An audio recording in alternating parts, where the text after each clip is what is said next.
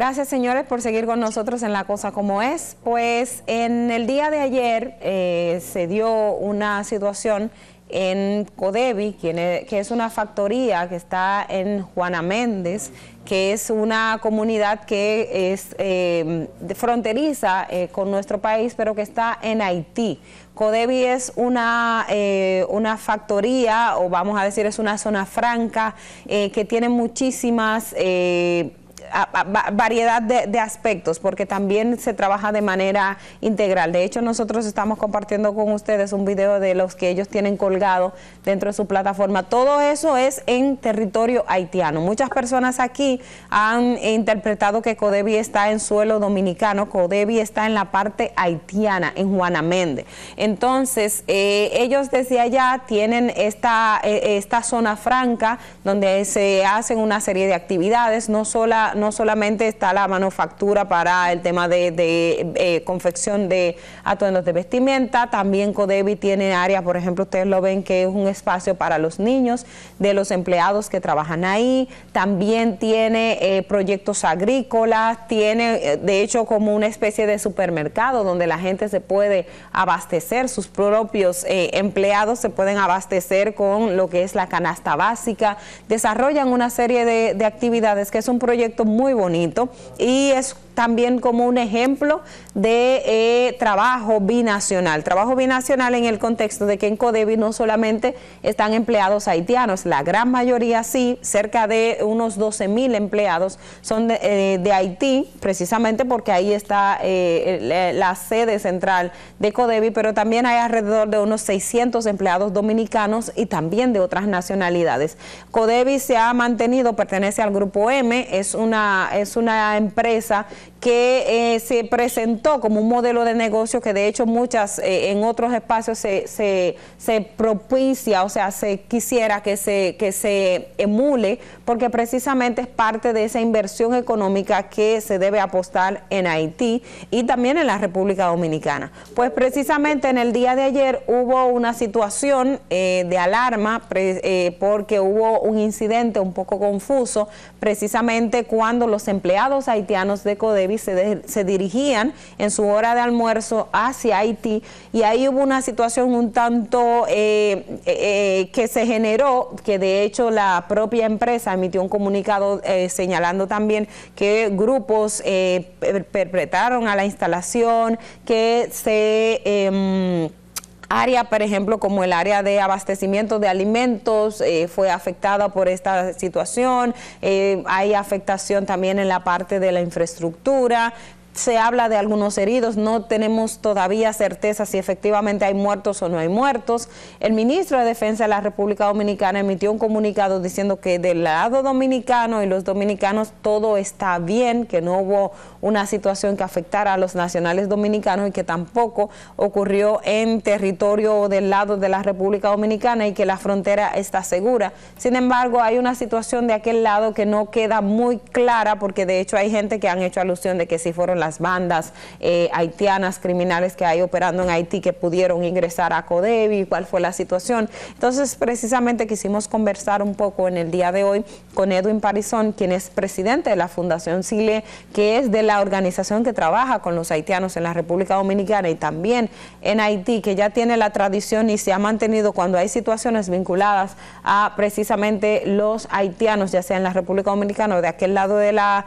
de la isla, pues nosotros siempre lo llamamos para consultar, para saber qué información se tiene al respecto, precisamente para llevarle los datos veraces a la comunidad de la cosa como es. Y de hecho queremos agradecer porque Edwin está en medio de una situación en casa arreglando, pero se ha tomado el tiempito para conversar unos minuticos con nosotros y se lo, se lo agradecemos muchísimo. Buenos días Edwin, ¿cómo estás? Buenos días, Ogla. muchas gracias por eh, la invitación, a pesar de que eh, estoy con esa situación técnica con eh, un equipo de Claro. Pero es un gusto. Primero, decirte que es totalmente falso la información que daba a conocer que eran bandas haitianas que habían atacado Codevi. Totalmente falso. No fueron bandas haitianas no fueron bandas, no fueron bandas.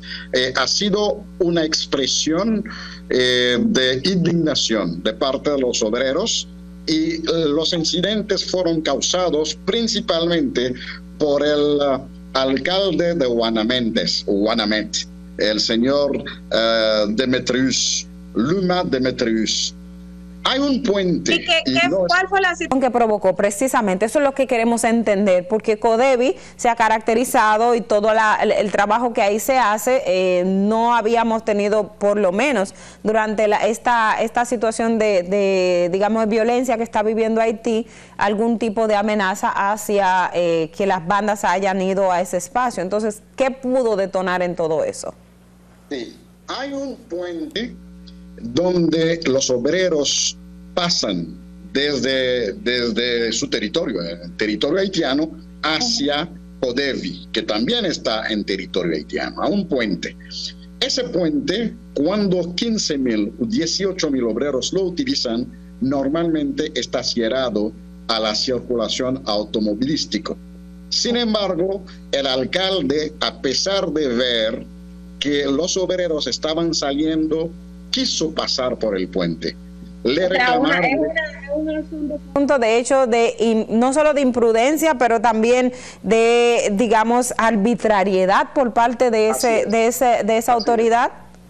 Totalmente, totalmente. Le dijeron eh, por favor regrese, regrese, no quiso regresar y provocó una situación de pánico porque son 15 mil personas en un puentecito pequeño. Eh, esto, pues, hubo un core-core, hay personas que se cayeron, hay personas que fueron pisoteados, hay personas que se, se tiraron del puente hacia abajo para poder salvarse la vida. Eh, y hasta se dice que podría haber personas atropelladas. Esto no lo pudimos verificar. Pero y, del tema de los fallecidos, porque también se habla de personas fallecidas. Tampoco, si se habla entre 6 y 8, esa información hasta hoy no hemos podido verificar si realmente de esta, este lamentable incidente hubo, eh, hubo muertos.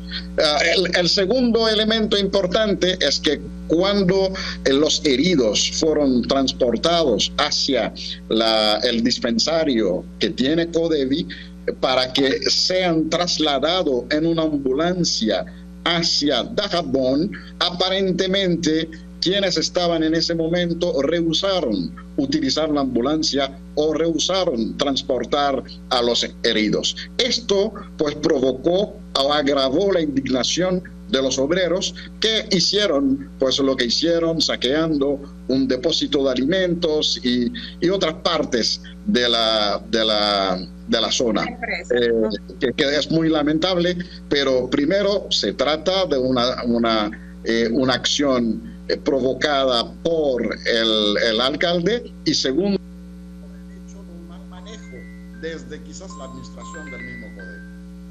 Eh, que perdí un poco el audio. Se, creo que se escuchó un poquito el audio de Edwin. Pues en sentido general lo que nos ha dicho es que la situación ha sido provocada por el alcalde. ¿Hay ya alguna, qué información de manera del manejo, digamos, eh, con las autoridades se ha, se ha sabido con relación precisamente a este incidente lamentable, porque caramba, una hora de almuerzo, que ya es un protocolo, porque es un protocolo establecido, de que la gente creo que a la hora de ir a almorzar todo el mundo va súper rápido porque quiere ir con tiempo, comer y luego para regresar a la empresa. Entonces, ¿cómo pudo primar la, de, eh, la falta de sensatez de una autoridad para desencadenar en una situación tan delicada como es lo que ocurrió ayer en esa zona franca.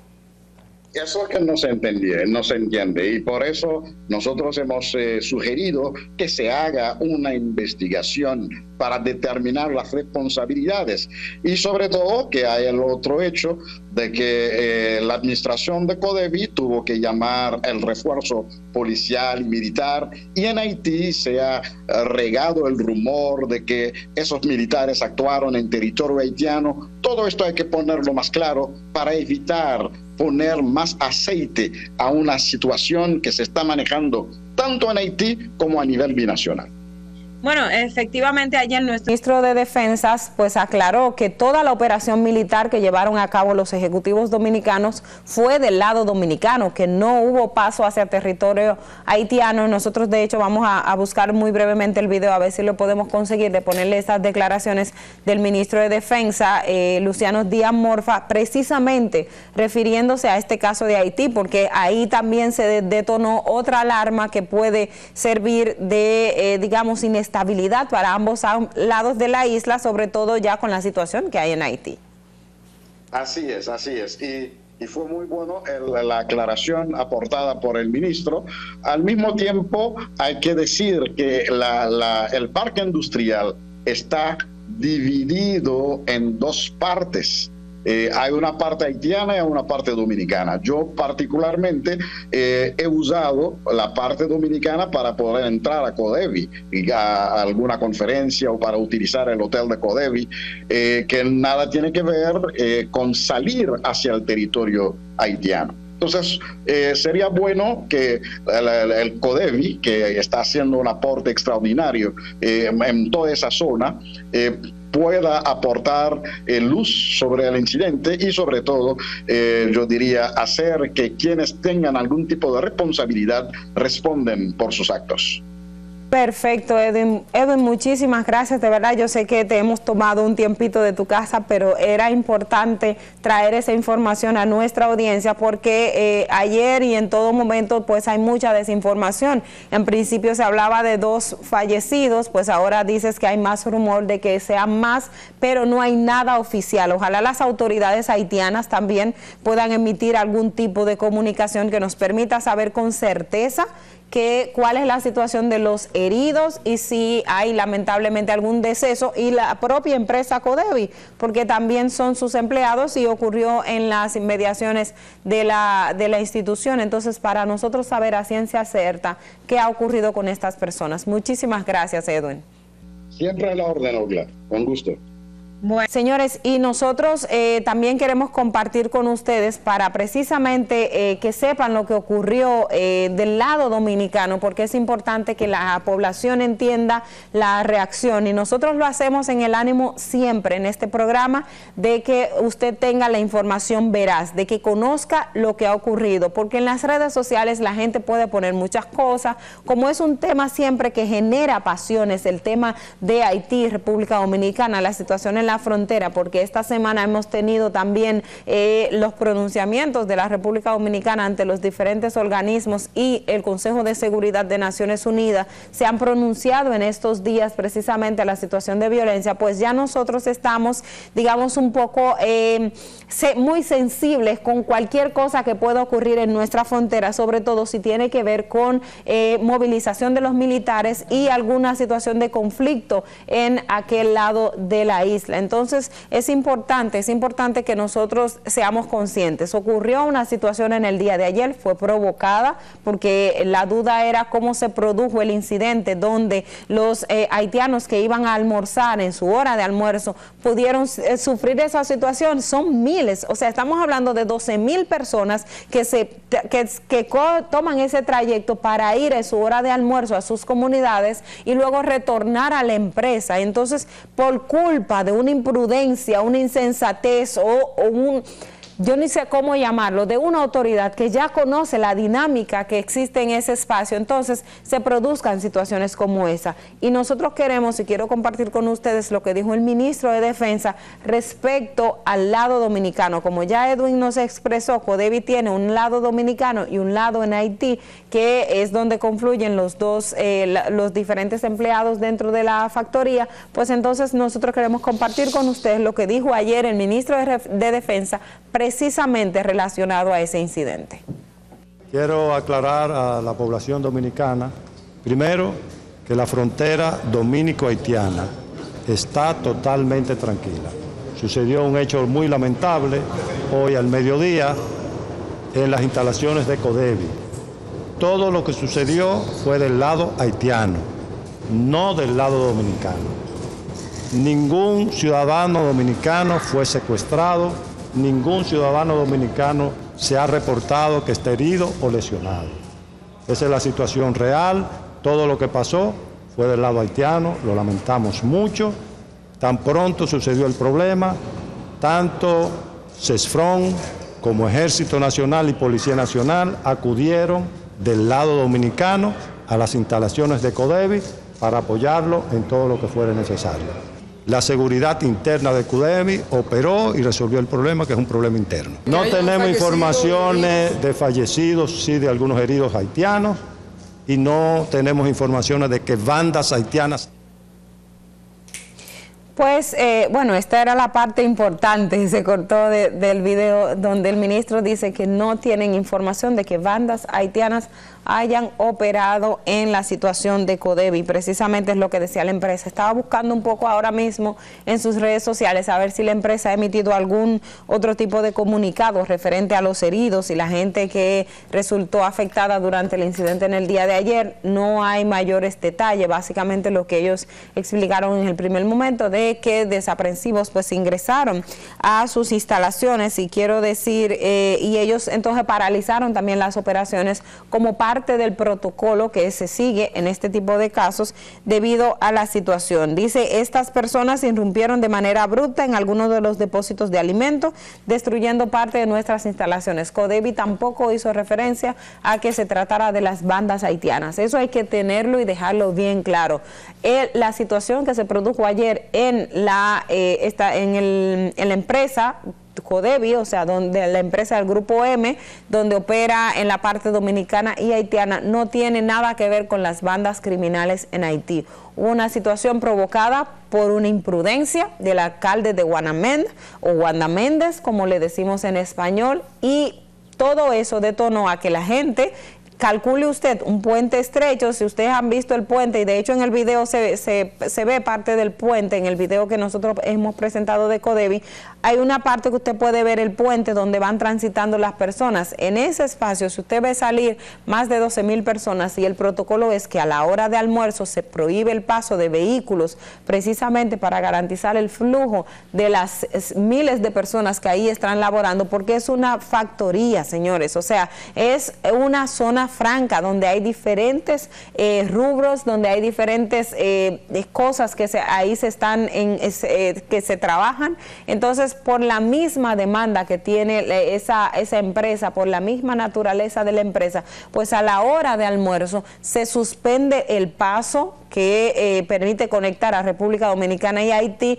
en vehículos. Entonces solamente la gente camina a pie y la gente va corriendo, la gente camina rápido, la gente tiene muchísimas preocupaciones. Entonces cuando usted altera la naturaleza de esa operatividad, pues precisamente genera ese, ese conflicto innecesario que ocurrió en el día de ayer, donde una cantidad de personas resultaron heridas. Vimos las fotografías, algunos nos llegaron videos, de hecho, de los propios eh, empleados de Codevi hablando un poco de la, de la situación escuchamos varios audios de la gente con mucho temor, porque, señores, cualquier cosa que ocurre en Haití ahora mismo es preocupación.